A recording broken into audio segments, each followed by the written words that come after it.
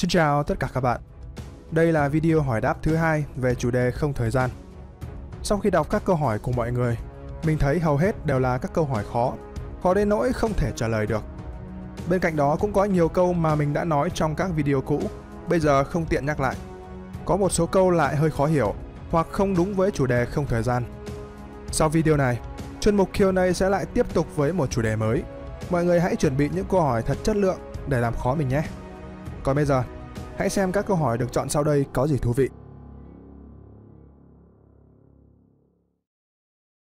Câu đầu tiên là của bạn Hùng On Đào 3216. Không thời gian có liên quan gì tới quá khứ, tương lai không? Hay nó chỉ đơn thuần là cách chúng ta giải thích các hiện tượng vật lý xảy ra trong vũ trụ? Nếu không thời gian bị bẻ cong, vậy có phải nó là một loại vật chất gì đó chưa được tìm ra hay không? Lại là quá khứ và tương lai.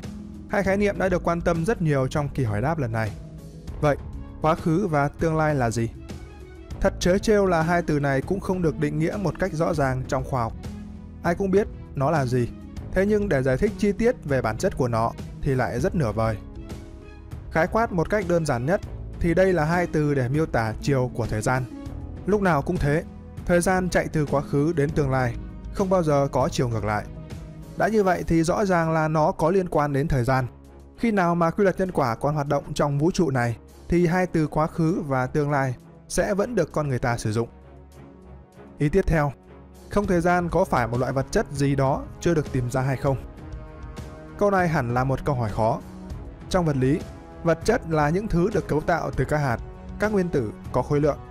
Chúng mang trong mình những tính chất nội tại có thể cân đo đong đếm được. Thế nhưng chúng ta cũng có một khái niệm về vật chất chẳng thể nào đo lường được, đó là vật chất tối. Vậy, thời gian liệu có phải một loại vật chất kỳ lạ nào đó giống như vật chất tối không? Câu trả lời là không. Dù chúng ta chưa chắc chắn vật chất tối là thứ gì hay cấu tạo như thế nào, nhưng rõ ràng nó rất khác thời gian. Vật chất tối có khối lượng rất lớn, nó tham gia vào các tương tác hấp dẫn ở cấp độ thiên hà. Còn thời gian thì không. Thời gian luôn tồn tại và nó cũng không cần phải làm gì nhưng lại âm thầm chi phối vũ trụ. Mở rộng ra một chút, nếu thời gian không phải vật chất, vậy nó có phải năng lượng hay không? Câu trả lời cũng là không. Bởi vì năng lượng được định nghĩa là thứ gì đó có thể sinh ra công dương. Nó có thể là ánh sáng, là mô men, là điện hay nhiệt độ, vân vân. Và dù tồn tại ở dạng nào đi nữa thì bản chất của năng lượng vẫn phải sinh ra công dương. Thời gian thì không như vậy. Thời gian không sinh ra năng lượng và cũng không lấy đi năng lượng. Câu hỏi tiếp theo đến từ bạn Hoàng Toby. Chào AD, mình thấy nhiều video nói là một người di chuyển bằng với vận tốc ánh sáng thì sẽ không bị già đi so với người trên trái đất, vì lúc ấy thời gian đã dừng lại. Nhưng theo mình thì không đúng, nó chỉ đúng theo chiều quan sát chứ không đúng với thực tế, vì còn tùy thuộc vào hệ quy chiếu của người quan sát nữa. AD có thể làm rõ giúp mình được không? Đây là một câu hỏi mang tính chất giả thuyết khá thú vị. Điều đầu tiên mình muốn khẳng định là bạn nói đúng rồi. Trong thực tế, không ai có thể di chuyển nhanh như ánh sáng được. Còn nếu xét theo hệ quy chiếu khác của người quan sát, thì không biết bạn muốn nói đến hệ quy chiếu như thế nào. Mình cứ giả sử, ở đây là hệ quy chiếu của một người đang quan sát trên trái đất. Yếu tố thứ nhất cần xét tới là tại sao khi di chuyển nhanh như ánh sáng sẽ không bị giá đi. Cơ sở nào để người ta nói như vậy? Giả thuyết này xuất phát từ các mệnh đề trong thuyết tương đối của Einstein. Trong đó có một điều rất quan trọng, đó là vận tốc ánh sáng luôn không đổi trong mọi hệ quy chiếu quán tính. Thậm chí là cả không gian và thời gian cũng phải biến đổi để bảo toàn vận tốc ánh sáng. Điều này ngụ ý rằng ánh sáng là thứ duy nhất trong vũ trụ mà thời gian cũng phải chào thua. Ngoại suy ra, thì hiển nhiên là khi thứ gì đó có thể di chuyển nhanh như ánh sáng, nó sẽ không bị ảnh hưởng bởi thời gian, cho dù chỉ là giả thuyết thôi. Trong trường hợp câu hỏi của bạn, Ta cứ giả sử có một người nào đó di chuyển trong vũ trụ với vận tốc bằng tốc độ ánh sáng, thì rõ ràng anh ta sẽ không trải qua thời gian, giống như chúng ta đứng trên trái đất. Nếu người quan sát trên trái đất thấy anh ta bay vòng quanh hệ mặt trời trong vòng một năm, thì một năm đó vẫn đơn giản là một năm trên trái đất. Riêng đối với anh ta, thì khoảng thời gian đó thậm chí không hề tồn tại. Vì một năm của anh ta không hề trôi qua, anh ta không có trải nghiệm về thời gian khi di chuyển bằng với vận tốc ánh sáng.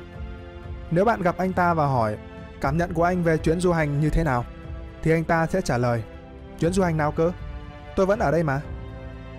Chốt lại, nếu bạn đứng trong hệ quy chiếu là một người quan sát thì thời gian của bạn vẫn luôn như vậy. Còn người du hành, nếu anh ta đi với tốc độ đủ nhanh thì thời gian sẽ chậm lại tỷ lệ thuận với tốc độ anh ta đạt được. Và trong thực tế, nếu bạn nắm được một chút kiến thức về thuyết tương đối và bản chất của ánh sáng, thì khi xem bất kỳ video nào bạn cũng sẽ biết thằng đó có bốc phét hay không.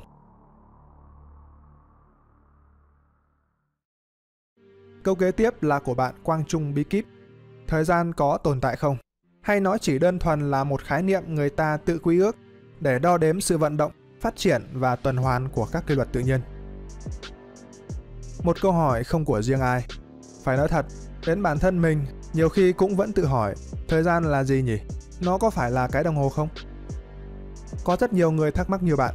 Liệu thời gian có phải một khái niệm giả định, hoàn toàn do con người nghĩ ra hay không? Bởi vì đối với các loài sinh vật khác, khái niệm thời gian đâu có tồn tại. Rõ ràng là như vậy.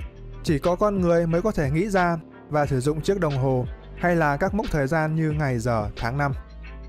Thế nhưng tự nhiên luôn có cách hoạt động của riêng nó. Nếu như để ý chúng ta sẽ thấy có một loại đồng hồ sinh học đang âm thầm hoạt động khiến cho mọi loài sinh vật đều sinh ra rồi chết đi. Thậm chí các nguyên tử cũng vậy, chúng cũng bị phân rã theo thời gian.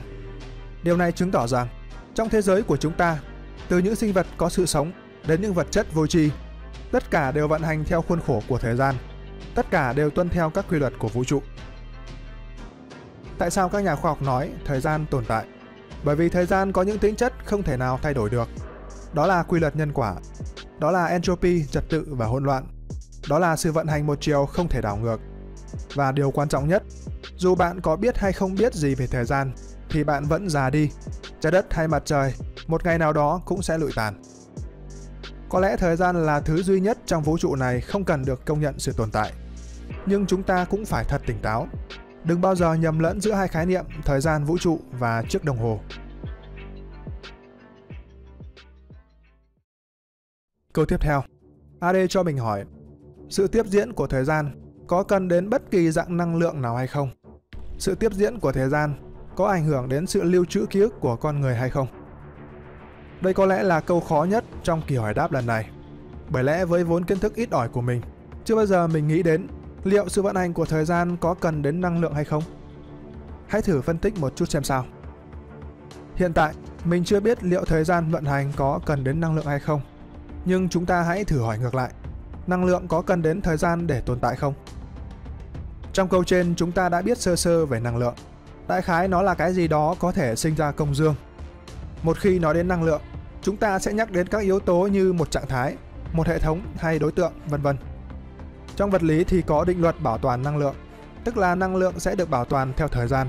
Nó sẽ không bị mất đi, cũng không bị tiêu hao theo thời gian đối với một hệ cô lập. Xét trong tự nhiên hay toàn vũ trụ, năng lượng được biểu thị dưới nhiều dạng khác nhau.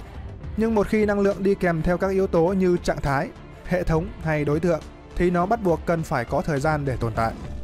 Ngay cả chuyển động của những hạt cơ bản trong nguyên tử cũng cần đến thời gian để tồn tại. Hơn nữa, nếu thêm cả yếu tố không gian vào thì mọi khẳng định lại càng trở nên sâu sắc hơn. Bởi lẽ, không gian và thời gian là một và năng lượng cũng cần đến một không gian để tồn tại. Như vậy, ta có thể nói, năng lượng cần có thời gian để tồn tại. Vậy, thứ gì cần năng lượng để tồn tại? Có vẻ như mọi thứ đều cần năng lượng để tồn tại. Một đối tượng, một sự kiện, một hệ thống hay một trạng thái, vân vân. Ngay cả vũ trụ này cũng cần đến năng lượng để tiếp tục mở rộng. Nói theo cách nào đó thì không thời gian của vũ trụ cũng có thể được gọi là một hệ thống. Và hệ thống này chắc chắn có sự vận động và phát triển. Giả sử, nếu thời gian thực sự cần năng lượng để tồn tại, thì năng lượng đó là gì? Liệu có phải năng lượng tối hay không? Đây thực sự là một thắc mắc khó nhằn. Có lẽ phải cần nhiều hơn dữ kiện và lập luận chúng ta mới có thể khẳng định. Riêng bản thân mình thì không biết. Tuy nhiên, nếu bắt buộc phải lựa chọn thì câu trả lời của mình là có. Chốt lại, theo ý kiến cá nhân của mình thì khả năng cao sự diễn biến của thời gian phải cần đến một loại năng lượng nào đó để vận hành. Và chắc chắn, sự diễn biến của thời gian có ảnh hưởng đến việc lưu trữ ký ức của con người. Như trong một video trước mình có nói, mọi thứ trong vũ trụ này đều cần có một không thời gian để áp dụng vào. Và tệp tin trí nhớ cũng không ngoại lệ. Ta có thể gọi trí nhớ là một dạng thông tin, và nó có liên quan chặt chẽ đến năng lượng, đến các sự kiện hay hệ thống, vân vân. Quanh đi còn lại thì nó vẫn cần đến thời gian để tồn tại. Trên đây là một vài câu hỏi nổi bật trong kỳ hỏi đáp lần này. Phải nói thật, đây là một chủ đề đầy thách thức. Đa số các câu trả lời của mình đều là sự suy luận và phân tích mang tính cá nhân. Nếu có bất kỳ thắc mắc gì, mong mọi người góp ý thêm. Trong kỳ hỏi đáp lần sau, mình sẽ tiếp tục với một chủ đề thách thức khác. Photon. Mong rằng sẽ được mọi người làm khó thật nhiều. See ya.